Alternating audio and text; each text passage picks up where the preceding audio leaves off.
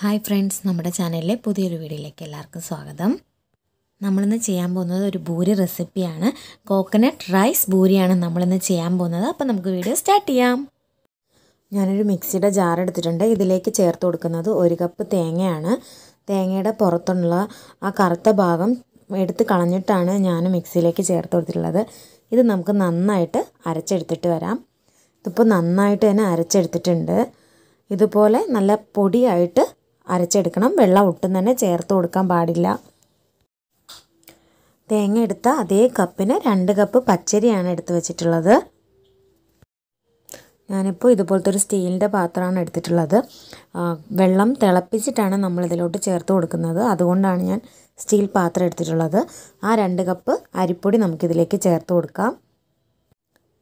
ഇതിലേക്ക് നമ്മൾ അരച്ച് വെച്ചിരിക്കുന്ന തേങ്ങ ചേർത്ത് കൊടുക്കാം. വെള്ളം നേരത്തെ തന്നെ തിളപ്പിച്ചിട്ടുണ്ടായിരുന്നു. ഇതിലേക്ക് ഒരു സ്പൂൺ എണ്ണയും ഒരു സ്പൂൺ ഉപ്പും ചേർത്തിട്ടുണ്ട്. മാവിലേക്ക് നമ്മൾ ഉപ്പ് ചേർത്ത് കൊടുക്കുന്നില്ല. ഈ വെള്ളം നമുക്ക് കുറേച്ച് ഒഴിച്ച് നന്നായിട്ട് മിക്സ് ചെയ്തെടുക്കാം. നല്ല ചൂട് വെള്ളം ആയതുകൊണ്ട് തന്നെ നമുക്കൊരു തവി ഉപയോഗിച്ച് മിക്സ് ചെയ്ത് കൊടുക്കാം.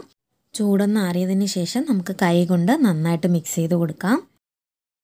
ചൂട് നന്നായിട്ട് തന്നെ മാറിയിട്ടുണ്ട്. ഇനി നമുക്ക് കൈ കൊണ്ട് നന്നായിട്ട് മിക്സ് ചെയ്ത് കൊടുക്കാം. ഇതുപോലെ നല്ല സോഫ്റ്റായിട്ട് നമുക്ക് കുഴച്ചെടുക്കാം. ഇത് നമുക്ക് ചെറിയ ബോൾസായിട്ട് ഉരുട്ടിയെടുക്കാം. ഈ ഉരുട്ടി വെച്ചിരിക്കുന്ന ഉരുളയിലേക്ക് നമുക്ക് കുറച്ച് എണ്ണ തേച്ച് കൊടുക്കാം.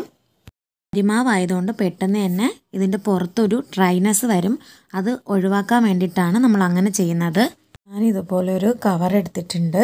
കവറിൽ എണ്ണ തടവിയിട്ടുണ്ട്. നമുക്കിത് വാഴയിലയിൽ വേണമെങ്കിലും ചെയ്തെടുക്കാം.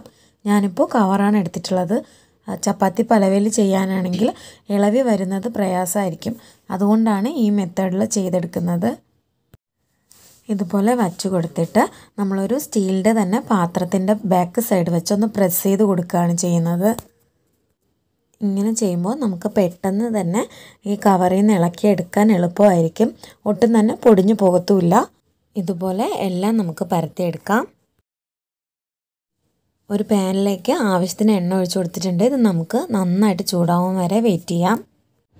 എണ്ണ നന്നായിട്ട് തന്നെ ചൂടായിട്ടുണ്ട്. ഇതിലേക്ക് പരത്തി വെച്ചിരിക്കുന്ന മാവ് ഇട്ട് കൊടുക്കാം.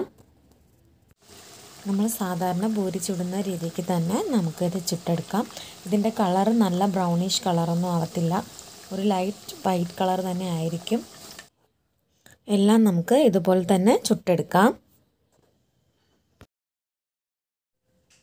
നമ്മുടെ ഭൂരി ഇവിടെ റെഡി ആയിട്ടുണ്ട്. നല്ല ടേസ്റ്റി ആയിട്ടുള്ള ഭൂരിയാണ് എല്ലാവരും ഒന്ന് ട്രൈ ചെയ്ത് നോക്കുക. ഇഷ്ടമാണെങ്കിൽ ലൈക്ക് ചെയ്യുക ഷെയർ ചെയ്യുക സബ്സ്ക്രൈബ് ചെയ്യുക. മറ്റൊരു വീഡിയോയിൽ കാണും വരെ എല്ലാവർക്കും ബൈ